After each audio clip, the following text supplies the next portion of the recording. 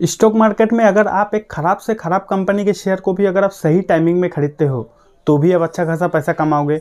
और एक अच्छे से अच्छे फंडामेंटल स्ट्रॉन्ग वाली कंपनी का भी शेयर अगर आप ख़राब टाइमिंग में खरीदते हो तो भी आपका पैसा डूबेगा। तो इससे आपको क्या समझ में आ रही है कि स्टॉक मार्केट में अच्छे कंपनी के शेयर पे अपने पैसे को इन्वेस्ट करना बड़ी बात नहीं, बल्कि अच्छे कंपनी के शेयर्स को आप कब खरीद रहे हो? आपका टाइमिंग बहुत ज़्यादा मैटर करती है। शेयर मार्केट में अगर आप अच्छा खासा पैसा कमाना चाहते हो लॉन्ग टाइम में तो आज के इस वीडियो में पूरा राज खोल दूँगा कि आखिर स्टॉक मार्केट में किसी भी शेयर को खरीदने का आखिर टाइमिंग क्या है, वो परफेक्ट टाइमिंग क्या है, वो सारा डिटेल आपको आज की इस वीडियो में सीखने को मिल जाएगा। आप कभी रेलवे स्टेशन गए हो अगर गए होंगे तो आप कभी ना कभी एक चीज़ नोटिस किए होंगे कि रेलवे स्टेशन में ना जब ट्रेन रुका हुआ रहता है, तब उस पर कोई नहीं उठता। लेकिन जब ट्रेन छोड़ देता है, जब ट्रेन चलने लगता है तो भागते हुए ट्रेन को सब कोई पकड़ने के लिए दौड़ मारता है। और सेम यही है स्टॉक मार्केट का भी फंडा। जब किसी भी एक्स वाई जेड किसी भी कंपनी का शेयर जब फ्लैट चलता है, जब बिल्कुल धीमे धीमे धीमे धीमे चलता है, ना ऊपर जाता है, ना नीचे आता है एकदम फ्लैट चलता है, स्लो डाउन चलता है, तब उस कंपनी का शेयर कोई नहीं खरीदता, उस पर कोई भी इंटरेस्ट नहीं दिखाता। लेकिन किसी भी कंपनी का शेयर जब अचानक भागने लगता है, अचानक ऊपर की तरफ़ जाता है, अचानक वो दस से पंद्रह हो गया, बीस हो गया, सौ हो गया, तब उसको सब कोई बाइंग करने के लिए आ जाता है, तब वो कंपनी के शेयर पर सब कोई इंटरेस्ट दिखाता है। ये आपको नहीं करना है। जिस तरह भागते हुए ट्रेन को पकड़ना आपके लिए हानिकारक है एक्सीडेंट भी हो सकता है। सेम उसी तरह कोई कंपनी का शेयर अचानक जब भाग रहा है, अचानक जब मान लो किसी कंपनी का आज शेयर का प्राइस है सौ रुपया और कल डेढ़ सौ हो गया, परसों दो सौ हो गया। अगर इतना तेज़ी से कोई किसी कंपनी का शेयर भाग रहा है और अगर आप उसको बाई करते हो तो ये करना भी आपके लिए रिक्सी हो सकता है। देखो, एक इंपॉर्टेंट बात मैं आप लोगों को पहले ही बता दे रहा हूँ कि किसी भी कंपनी का परफेक्ट बाइंग लेवल किसी को नहीं पता। अगर आप ये एक्सपेक्ट कर रहे हो कि इस वीडियो में मैं आप लोगों को ये बताऊँगा कि परफेक्ट बाइंग लेवल क्या होता है तो आप इस वीडियो को यहीं पे छोड़ के जा सकते हो, क्योंकि राकेश झुंझुनवाला सर को भी नहीं पता था कि परफेक्ट बाइंग लेवल क्या होता है, और यहाँ तक हमारे जो वारेन बफेट सर जी है, उनको भी नहीं पता है कि किसी भी शेयर का परफेक्ट बाइंग लेवल आखिर क्या होता है। अगर ऐसा पता होता तो वो अपना सारा प्रॉपर्टी स्टॉक मार्केट में इन्वेस्ट करके रख देते, ठीक है? तो किसी भी शेयर का परफेक्ट बाइंग लेवल किसी को नहीं पता, किसी को भी भविष्य नहीं पता कि कल क्या होने वाला है मैजिक किसी को नहीं पता, लेकिन लॉजिक तो सबको आता है।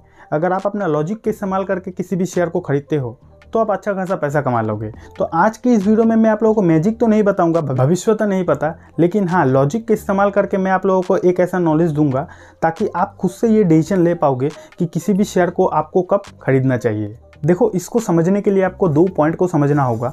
ये दो पॉइंट को अगर आप समझ जाते हो तो आप खुद से ये डिसीज़न ले पाओगे कि किसी भी शेयर को आखिर कब खरीदना चाहिए। दो पॉइंट में से पहला वाला पॉइंट है कि आप जो कंपनी का शेयर को खरीदना चाहते हो, उस कंपनी का आपको चार्ट को आइडेंटिफाई करना, समझना होगा। उस चार्ट का जो चाल है, उसको समझना होगा। कैसे समझना है, वो तो मैं आप लोगों को वीडियो में आगे बताऊँगा। तो पहला पॉइंट है कि जो कंपनी का शेयर को खरीदना चाहते हो, उसका चार्ट को आपको समझना होगा।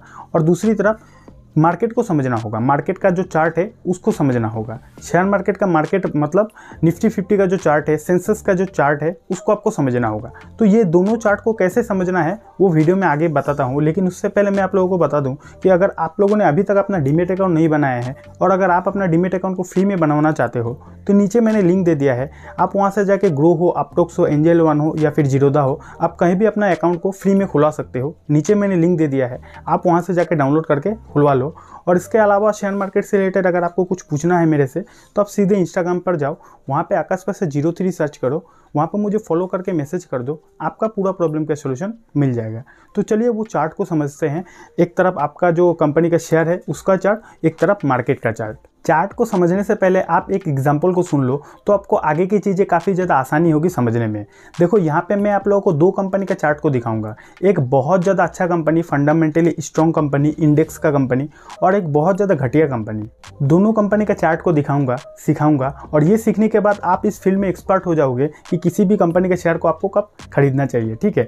तो पहले मैंने ओपन किया कि एक बहुत ही ज़्यादा ख़राब कंपनी जो एकदम घटिया कंपनी है, बहुत सारा इन्वेस्टर का जो पैसा है, वो डुबा के रख दिया है ये कंपनी मैं ऑल टाइम इसका जो चार्ट है, जब से ये कंपनी शेयर मार्केट में लिस्ट हुई, तब से लेकर आज तक का जो चार्ट है, मैंने ओपन किया। देखो, ऊपर पहाड़ बना था, ऊपर से नीचे तक पहाड़ टूट पड़ा है। पहले 300-400 रुपया इस इस कंपनी का शेयर का प्राइस था। आज की डेट में देखो 18-19 रुपया चल रहा है। अब इसी कंपनी का जो ग्राफ है, वो मैं लास्ट एक साल का परफॉर्मेंस दिखाता हूँ। देखो, अब ये, पहले मैंने क्या बोला कि ये कंपनी बहुत ही वीक कंपनी है, बहुत ही ज़्यादा बेकार कंपनी है। लेकिन इस बेकार कंपनी का शेयर को भी जिसने इस लेवल पर बाई किया है उसका तो पैसा यहाँ पे अच्छा खासा रिटर्न बन चुका होगा, क्योंकि यहाँ पे देखिए ग्राफ ऊपर गया है। अब ये तो गया बेकर कंपनी का एग्ज़ाम्पल अब मैं यहाँ पे इंडेक्स का कंपनी का एग्ज़ाम्पल दिखाता हूँ। वो इंडेक्स का कंपनी यहाँ पे मैंने ओपन कर दिया। यहाँ पे देखिए, जब से कंपनी लिस्ट हुई है, तब से लेकर आज तक शेयर होल्डर को खुशी किया है। ऊपर पहाड़ की तरह शेयर का जो ग्राफ है, वो गया है। ठीक है? अब लास्ट एक साल का परफॉर्मेंस मैं दिखाता हूँ। लेकिन ये लेकिन बहुत ज़्यादा बड़ा कंपनी है, बहुत ज़्यादा फंडामेंटल स्ट्रॉन्ग कंपनी है। अब ये इतना अच्छा इतना बड़ा कंपनी होने के बावजूद फंडामेंटल स्ट्रॉन्ग होने के बावजूद, जिन लोगों ने इस लेवल पर बाई किया है, उनका आज हालत क्या होगा? तो इससे आपको क्या समझ में आ रही है कि स्टॉक मार्केट में पैसे को इन्वेस्ट करना बड़ी बात नहीं, बल्कि स्टॉक मार्केट में पैसे को सही टाइम पे इन्वेस्ट करना, ये बहुत बड़ी बात है। तो उसके लिए तो आपको नॉलेज लेना होगा और नॉलेज लेने के लिए हमारे इस चैनल को सब्सक्राइब करना होगा। तो चलिए अब मैं आप लोगों को पूरा कंक्लूजन बता दे रहा हूँ कि किसी भी शेयर को आपको आखिर कब खरीदना चाहिए। तो पहले मैंने आप लोगों को बोला था कि दो पॉइंट को आपको समझना होगा और ये दोनों पॉइंट को अगर आप समझ जाते हो तो आपका जवाब मिल जाएगा। तो पहले वाला पॉइंट क्या था कि जिस भी कंपनी के शेयर को आप खरीदना चाहते हो, उसका चार्ट को आपको समझना होगा। तो फॉर एग्ज़ाम्पल मैंने रिलायंस इंडस्ट्री का यहाँ पर चार्ट को ओपन किया। एग्ज़ाम्पल देने के लिए, आपका वो कोई भी शेयर हो सकता है, जो जो शेयर को आप खरीदना चाहते हो। तो आप लोगों को समझाने के लिए मैंने यहाँ पे रिलायंस इंडस्ट्री का जो चार्ट है लास्ट एक साल का जो परफॉर्मेंस है, वो मैंने यहाँ पे ओपन किया। अब यहाँ पे देखिए रिलायंस इंडस्ट्री का जो परफॉर्मेंस है ग्राफ ऊपर गया है नीचे आया है, फिर ऊपर गया है, फिर नीचे आया है, फिर ऊपर गया है, फिर नीचे आया है। मतलब कि किसी भी कंपनी का शेयर परमानेंट नहीं है कि वो हमेशा ऊपर जाएगा। वो ऊपर जाता है, नीचे जाता है, ऊपर जाता है, नीचे जाता है। एंड अल्टीमेटली अगर वो कंपनी का बिज़नेस अच्छा रहे तो अल्टीमेटली लॉन्ग टाइम में उस कंपनी का ग्राफ ऊपर ही जाएगा। ठीक है? लास्ट पाँच साल का आप परफॉर्मेंस परफॉर्मेंस देख लीजिए। ग्राफ ऊपर ही गया है। ऑल टाइम का आप परफॉर्मेंस देख लीजिए। ऊपर ही गया है। तो पहले तो आप ये ध्यान में रखना कि जिस भी कंपनी का आप शेयर को खरीदते हो टाइमिंग से ज़्यादा मैटर करती है उस कंपनी का फंडामेंटल फंडामेंटल तो स्ट्रॉन्ग होना ही चाहिए। ये सारी जो टेक्निक है, ये सारी जो नॉलेज है, वो तभी काम आएगा आपके लाइफ में जब आप सही डिसीज़न ले रहे हो कि आपका जो कंपनी का शेयर को आप खरीदना चाहते हो, वो कंपनी का बिज़नेस अच्छा होना चाहिए। तो ही आपको ये सारा जो नॉलेज है, वो काम देगा। ठीक है? तो रिलायंस इंडस्ट्री बहुत ज़्यादा अच्छा कंपनी है फंडामेंटल स्ट्रॉन्ग कंपनी है। तो यहाँ पर देखिए, ग्राफ ऊपर गया है, नीचे गया है। काफ़ी ज़्यादा बोर्ड हो रहे होंगे। ठीक है नॉलेज वाली चीज़ें जो होती है वो बोर्ड ही होती है, लेकिन आपको सीखने को बहुत ज़्यादा मिल जाएगा। अब यहाँ पे पहला तो गया कि आप जो कंपनी का शेयर को खरीदना चाहते हो, उसका तो काम ख़त्म। अब यहाँ पे मैं मार्केट का चार्ट को ओपन करता हूँ निफ्टी फिफ्टी निफ्टी फिफ्टी का लास्ट एक साल का परफॉर्मेंस देखिए ग्राफ ऊपर गया है, नीचे आया है। ऊपर गया है, नीचे आया है। फिर ऊपर गया है, फिर नीचे आया है। आप पाँच साल का परफॉर्मेंस देखिए अप डाउन अप डाउन हुआ है, लेकिन अल्टीमेटली निफ्टी फिफ्टी भी शेयर मार्केट भी अल्टीमेटली ऊपर ही गया है। अब एक और चीज़ देखिए 2020 कोरोना के टाइम कोरोना के टाइम तो मार्केट काफ़ी ज़्यादा क्रैश हुआ था मार्केट में बहुत बड़ा तबाही आया था। तो उस टाइम शेयर मार्केट का हाल देखिए, कितना ज़्यादा झटका मिला था, कितना ज़्यादा निफ्टी फिफ्टी का जो चार्ट है, वो नीचे गया था। अब यहाँ पे आपको आपका आंसर जो है, वो मिल जाएगा।